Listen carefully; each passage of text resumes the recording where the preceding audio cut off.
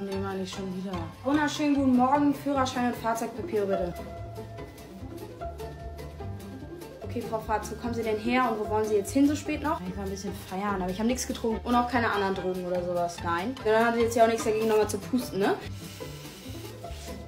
Dachte ich mir doch, 100% haben sie gepustet. Hä, wie, was für Prozent ist doch Promille oder nicht? Ja, was labern Sie denn jetzt hier auch noch von Promille? Ist doch überhaupt kein Alkoholtest gewesen. Was denn dann? Frau Fratz, das war der Spackentest und Sie sind völlig durchgefallen. Sie sind ein Vollspacken. Bitte steigen Sie direkt aus dem Fahrzeug aus. Wollen Sie mich gerade verarschen? Es gibt neue Vorschriften und Spacken dürfen leider kein Auto mehr fahren. Sie machen sich hier strafbar, Frau Fratz. Entschuldigen Sie bitte mal, aber Sie sind doch selber voll der Spacken. Warum fahren Sie denn Auto? Warum ist das denn? Hä? Kommt jetzt bitte mal klar, das ist Beamtenbeleidigung gewesen. Sie sind jetzt direkt, Sie kommen jetzt mit auf die Wache. Sie kommen jetzt mit. Los, kommen Sie mit. Einen Arsch mache ich jetzt. Ich fahr jetzt weiter. Na gut, für 300 Euro bar würde ich jetzt auch noch mal ein Auge zudrücken. Sie wissen aber schon, dass das Bestechung ist, ne? Ich könnte Sie anzeigen, theoretisch. Das reicht jetzt, die Spacken steigen aus dem Auto raus. Braucht Verstärkung hier bitte. Ich hasse Sie.